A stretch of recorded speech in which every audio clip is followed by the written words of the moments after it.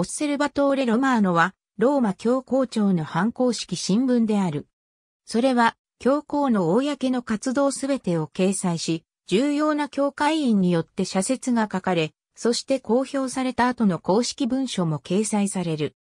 発行は発行人欄のもとにニック・ウィークスームとノンプリーバルブントという二つのラテン語のモットーが記載される。現在の編集長はジョバンニ・マリア・ビアンである。今日、この新聞は創刊の時と比べて、より客観的かつ和らげられた立場をとっており、新聞の創刊や歴史に捧げた新しい展示をはじめとするタルチジオ・ベルトーネス機教による2006年の演説に従って、教会の誠実な素顔や自由の模範を提供することに誇りを持っている。さらに彼は、新聞の発行をペトロの後継者の教えと教会の行事に関する情報を広めるための手段であると書いた。オッセルバトーレ・ロマーノは旧カ国語で出版されている。オッセルバトーレ・ロマーノの日刊のイタリア語版は午後に発売されるが、翌日号とともに、慣例は時々混乱したまま残っている。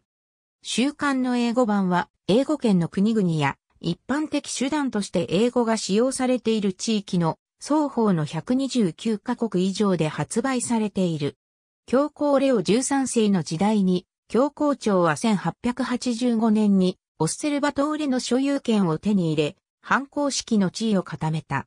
オッセルバトーレ・ロマーノの初回号は1861年7月1日にローマで発行され、その数ヶ月後にはイタリア王国建国が1861年3月17日に宣言された。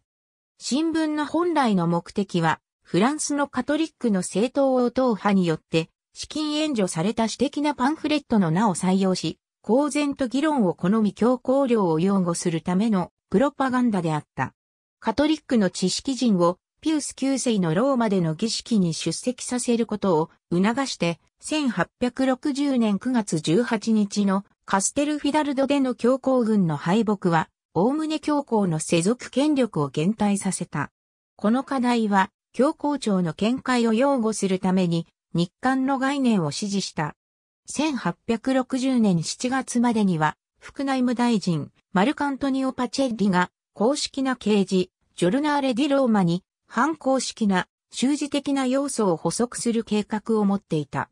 1861年初頭には、論争家、ニコラ・ザンキーニやジャーナリストジュゼッペ・バスティアがパチェッリの新聞の社説指針を与えられた。出版の正式な承認は1861年6月22日に求められ、4日後の6月26日にピウス9世がオッセルバトーレの規定に承認を与えた。創刊号はオッセルバトーレ、ロマーノ、政治的かつ道徳的な新聞という題名を付けられ、5倍大きの費用がかかった。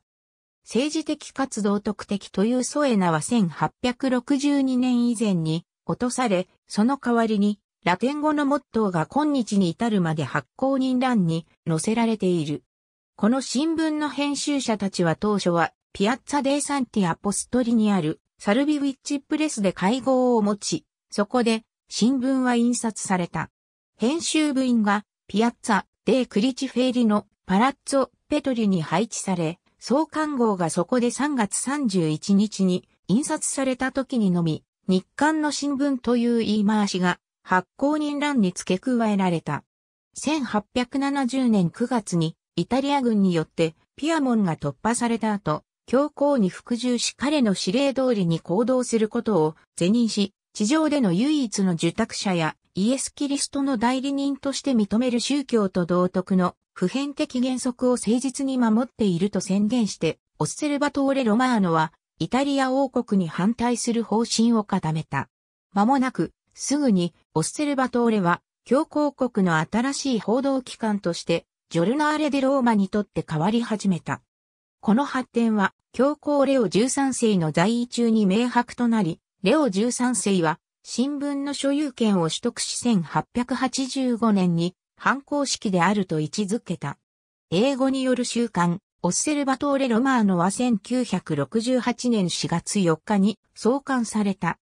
北米の購読者のためにローマカトリックのボルティモア大司教区で印刷され始めた時、1998年7月7日には、その版は、ローマの外で発行された、最初のオッセルバトーレ、ロマーの紙となった。